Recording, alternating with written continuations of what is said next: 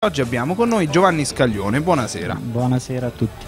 Allora, parliamo appunto di arte visiva, tante sono, diciamo così, le mansioni, perdona questo termine, da, da artigiano, insomma. È che un po' hai- un lavoro Che artigianale. è certo che una volta gli artisti venivano chiamati artigiani. C'erano sai? le botteghe. C'erano le Oggi botteghe. stanno morendo, ma ci sono, c'erano le botteghe. Esatto, bravo, oggi stanno morendo. Poi insomma, quando si parla di bottega, artigianato, arte a Roma, ti viene ancora di più il magone, no? Pensare, insomma, quello che c'era fino a 50 anni fa. Comunque, Giovanni Scaglione, appunto, si occupa di arte visiva, inizia come scenografo, mi dicono. La mia formazione è proprio come scenografo presso l'Accademia di Brera a Milano.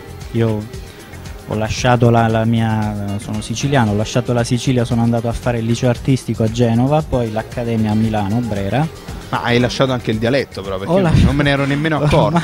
È passato siciliano. talmente tanto tempo che- Siciliano, scusa, a questo punto toglimi di dove? Sai, della esattamente. provincia di Caltanissetta, di Ah. Riesi. Ok, ok. Però dopo le medie eh, è iniziata la mia migrazione, diciamo. Ok.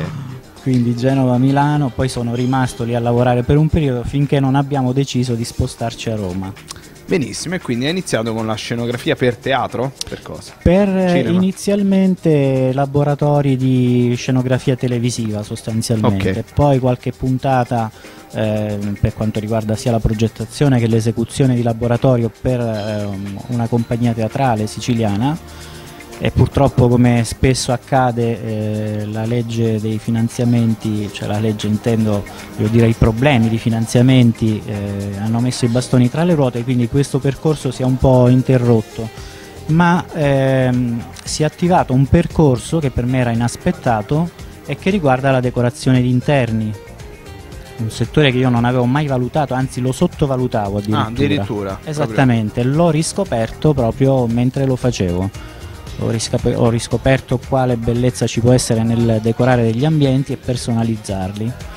Naturalmente parliamo di ambienti di tutti i tipi, per cui lo spunto possibile è veramente eh, ad ampio raggio. Eh certo, ad immagino, raggio. perché parliamo anche di, di un'abitazione. Parliamo di abitazioni, hotel, residenze importanti, per cui non si tratta di decorare Sì. l'oggettino in questo caso, ma di creare proprio un- un'immagine, una personalità ad ambienti interi.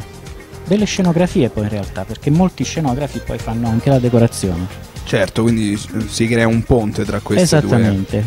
tra queste due arti, così come poi esiste forse l'arte che le lega un po' tutte, che è quella della, della pittura fondamentalmente, a cui ti stai Sostanzialmente, sì. dedicando in maniera abbastanza Ho ripreso prepotente Sì, in diciamo, questi ultimi anni. ho deciso di riprendere un settore che avevo per motivi di tempo lasciato un pochettino da parte, ma è quello con cui sono partito tanti anni fa, che è quello della, della pittura su, su tela, comunque su supporti, diciamo quadri genericamente, e che intendo incrementare con tecniche nuove, con un linguaggio anche un pochettino più nuovo rispetto al passato, al mio passato, e per un mercato ad ampio raggio. Cioè mh, voglio dedicarmi a adesso abbiamo il supporto di internet che ci aiuta tanto, Sì, per cui ci si può fare veramente una vetrina Assolutamente, online, no? sì, un atelier.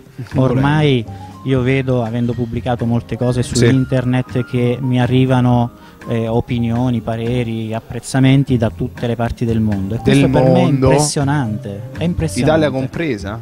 Un po' Italia meno. compresa, sì, Ah. però quello che mi impressiona è ricevere un parere positivo 5 minuti dopo aver pubblicato dalla Nuova Zelanda Certo, o dall'Australia. Quando si dice Eh, dall'altra che- parte del eh, mondo cioè- re- fisicamente così proprio. Prima di internet questo insomma non sarebbe stato tanto impensabile. facile. Impensabile.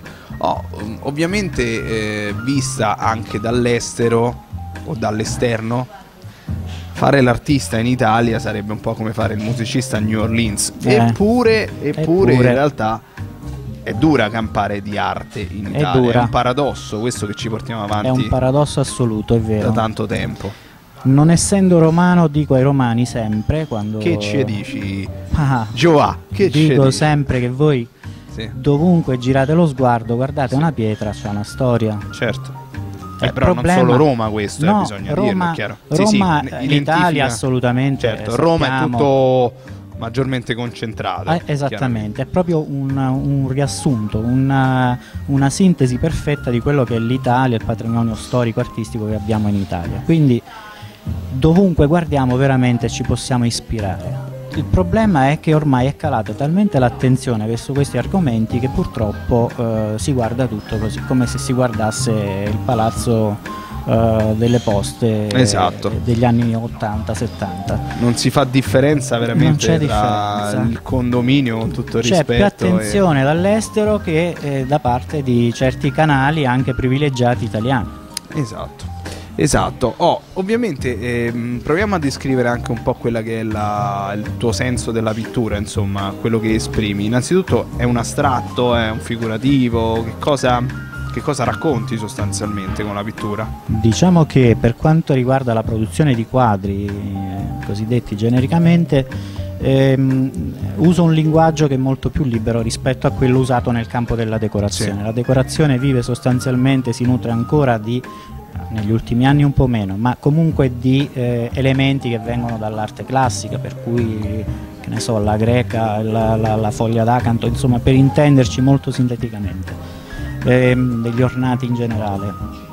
Negli ultimi anni si lavora anche con le patine, quindi con un'espressione creativa un po' più libera anche negli ambienti, ma nei quadri si usa un linguaggio un pochettino più personale, per cui ci si sbizzarrisce un po' di più. Personalmente uso un linguaggio eh, poco figurativo o se figurativo è ispirato diciamo, alla realtà ma non è mai una riproduzione pura e semplice del reale o comunque molto basato sul segno e sul colore, sull'effetto grafico e sulla combinazione di materiali, materiali diversi che vengono accostati e cucite addirittura in certi casi le tele o assemblate delle tavole di riciclo spesso per cui già questi supporti hanno di per sé una funzione eh, estetica oltre che materica e da lì si parte. Quindi segno, colore, espressione più gestuale. Perfetto, tutto questo come accennavo in apertura lo, lo insegni anche? Domando, cioè so che insegnarte. Sì, poi.